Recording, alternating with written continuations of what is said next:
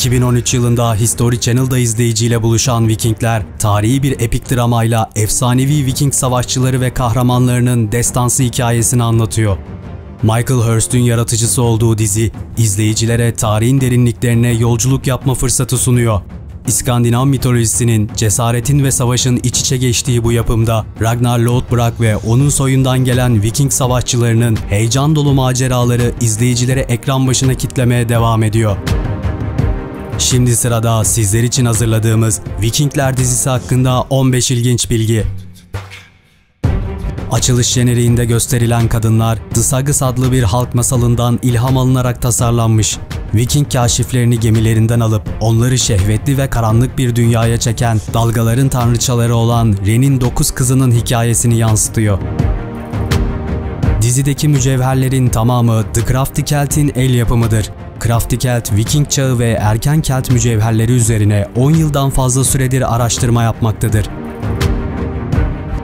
Rollo'nun dövmesi İskandinav mitolojisinde Hati ve Skol güneşinin ayı kovaladığı bir sahneyi tasvir etmektedir. Kostümler İspanyol kostüm evi Sesteria Curnejo tarafından hazırlanmıştır. Kostümlerin çoğu Game of Thrones ve Marco Polo gibi daha önceki projelerden bir araya getirilmiştir. Jarl Bori karakteri adını İsveçli tenisçi Björn Borg'den almıştır. Lagerta'yı canlandıran oyuncu Catherine Winnick, Tekvando'da 3. derece siyah kuşak ve Karate'de 2. derece siyah kuşak sahibidir. Odin, rünlerin sırrını öğrenmek için Yggdrasil'da 9 gece kaldı. Dünya ağacında 9 diğer var. Heimdall'ın 9 annesi var. Ren'in denizin dalgalarını temsil eden 9 kızı var. 9 büyük ejderha benzeri yılan var. 9 sayısı İskandinav mitolojisinde çok özel bir sayıdır ve dizinin ilk sezonunun 9 bölümden oluşması da elbette tesadüf olmamalı. Dizideki dövüş sahnelerinin koreografisi iyi eğitimli oyuncular tarafından gerçek silahlarla yapılmaktadır. Oyuncular çekimlerden önce yaklaşık 3 hafta boyunca koreografi çalışmaktadırlar. Vikings başlangıçta History kanalı için 9 bölümlük senaryolu bir mini dizi olarak tasarlandı. Ancak dizi olumlu tepkilerle karşılaşınca yapımcılar diziyi devam ettirme kararı aldı.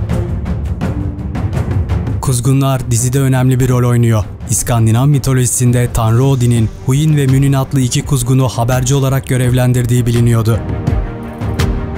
2014 yılında Vikings dizisi Game of Thrones'u geride bırakarak en vahşi televizyon dizisi ünvanını kazandı. Bu ünvanı elde etmesinde özellikle Kan Kartalı bölümünde Jarl Bori'nin ölüm sahnesinin vahşiliğe etkili oldu.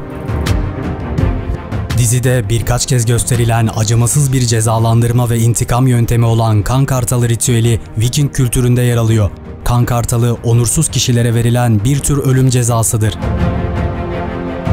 Travis Fimmel'ın THR ile yaptığı bir röportajda çukurdaki canlı yılanlara son derece yakın olması gereken sahne için sonunda yılan kakasıyla kaplandım. Birkaç kez ısırıldım ama bu sorun değildi. Beni her şeyden çok rahatsız eden şey onların üzerime kaka yapmalarıydı demiştir.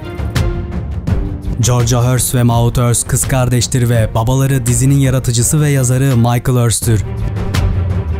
Evan Kay, Kral Eel rolüne seçilmeden önce Earl Haraldson rolü için seçmelere katıldı. Vikingler dizisiyle ilgili sizlerin de dikkatini çeken ve ilginç olduğunu düşündüğünüz detaylar varsa yorumlarda paylaşabilirsiniz. Bir sonraki videomuzda görüşmek üzere. Takipte kalın.